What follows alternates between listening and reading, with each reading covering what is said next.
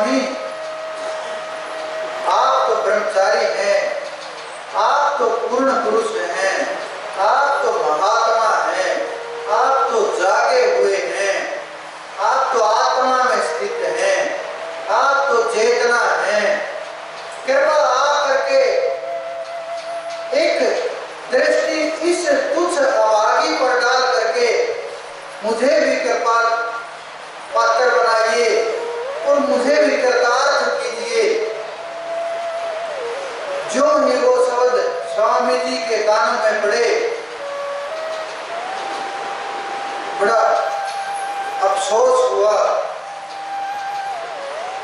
बड़ा विचार हुआ।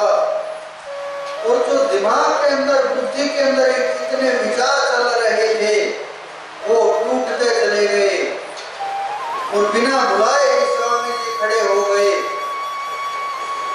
और ऐसी स्थिति उत्पन्न हो गई कि स्वामी जी एकदम से विचार हुआ कि बड़ा अद्भुत, मैं स्त्री और पुरुष के शरीर में भेद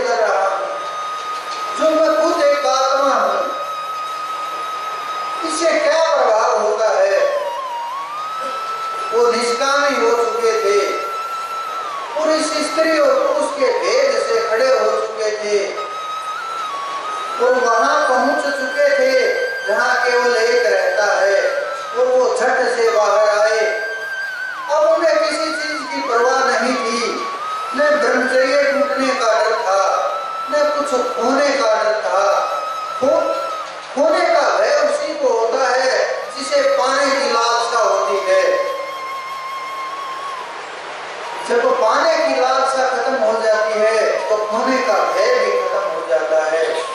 स्वामी जी समझ चुके थे कि न कुछ होना है न कुछ पाना है।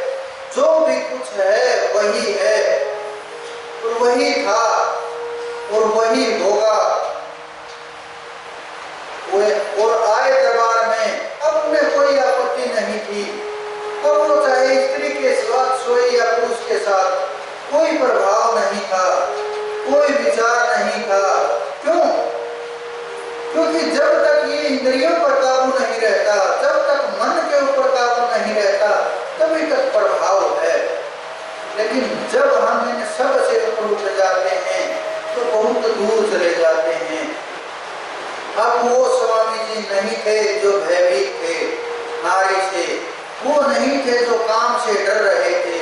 अब वो जागे हुए महापुरुष थे अब और तेज बढ़ चुका था अब और बुद्धि ऊंचाइयों को छू चुकी थी, चेतना और ऊपर उठ चुकी थी। अब वो कहीं भी किसी तरह से भी रह सकते थे। लेकिन जो प्रसन्न राम से भी श्रेष्ठ कहूँगा उनको, राम के साथ भी उनकी तुलना, देखो, तुलना करना, संत महात्माओं की भी तुलना ठीक नहीं है। लेकिन अवतारों की तो तुलना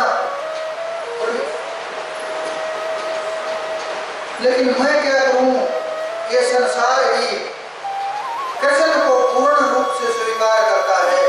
राम को, जो राम को मानने वाले हैं, राम जैसा मर्यादा पुरुषोत्तम आज तक संसार में नहीं हुआ। नहीं होने की आस, क्योंकि जो भी ऊपर से अवतार आता है, वो विशेष कार्य के लिए आता है। राम जैसा वचन का पालन करने वाला आज तक नहीं हुआ। पिता के एक शब्द के कारण वनवास को चला गया। राम जैसा नहीं हुआ।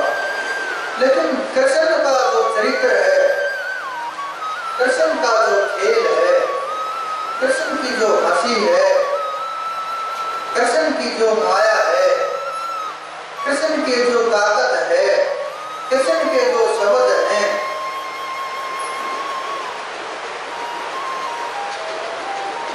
कृष्ण का जो रास है वो अलग ही है उसका कोई जोड़ तोड़ नहीं हुआ है नहीं हो सकता है क्योंकि कृष्ण वो चेतना है जो अपने आप में संपूर्ण है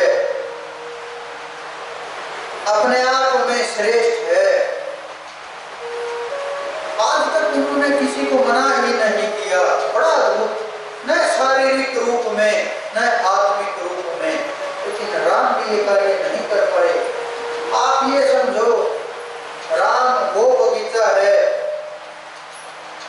जो काट छाट करके इतना सुंदर सजा हुआ है। इतना सुंदर सजा दिया गया है देखते ही हर कोई मोहित हो जाए हर कोई विचार करने लगे कि इससे सुंदर पूरी पृथ्वी पर पूरे ब्रह्मांड में कहीं नहीं लेकिन कृष्ण वो वन है जो पूरे ब्रह्मांड में फैला हुआ है। राम एक सीमित है।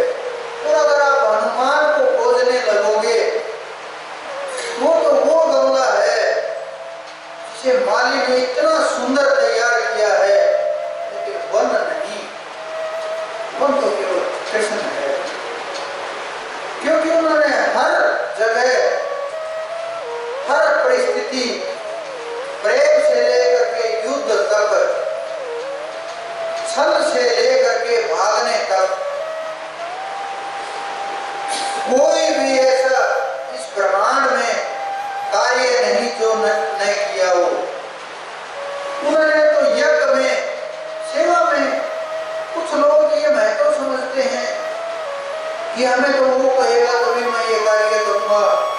वो बोलेंगे दूसरी उसकी सुनूँगा, दूसरे की नहीं मानूँगा। कुछ लोग अपनी जिम्मेवारी से भागते हैं। कुछ लोग दिखावा ज़्यादा करते हैं, कार्य कम करते हैं।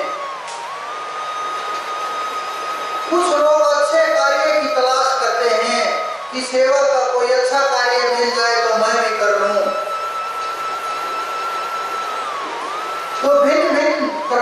के भिन्न भिन्न व्यक्तियों के लोग हैं।